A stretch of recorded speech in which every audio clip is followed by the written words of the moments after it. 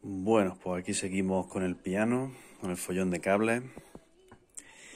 Y bueno, llevo dos días para intentar hacer la comunicación, es decir, para que el, este SP32 le envíe los comandos a este, ¿vale? Y bueno, en principio lo había hecho por el puerto serie, pero al final he optado por I2C, que, que funciona bastante mejor. Y bueno, la verdad es que he tenido bastante problemas a la hora de comunicarlo por I2C, hasta que he encontrado un código que funciona correctamente.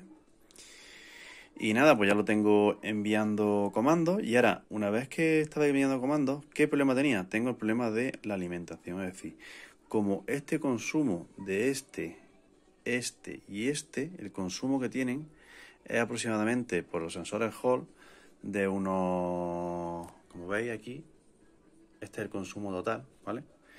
Y bueno, pues cada uno pues, dividimos entre tres, más o menos. Este consume unos 50 miliamperios más o menos. Y el resto, los otros SP32. Bueno.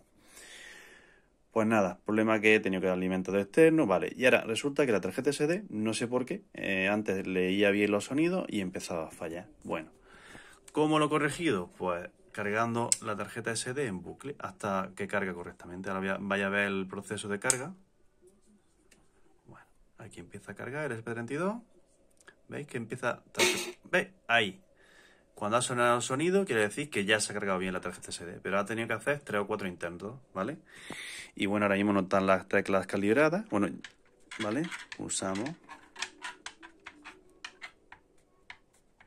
Bueno, pues ya tenemos las teclas calibradas. Por lo menos la blanca y la negra. Vale.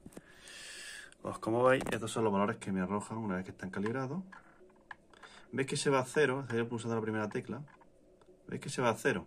Bueno, pues eso es por el filtro que le he metido a este a la hora de recoger los datos del sensor Hall, ¿vale?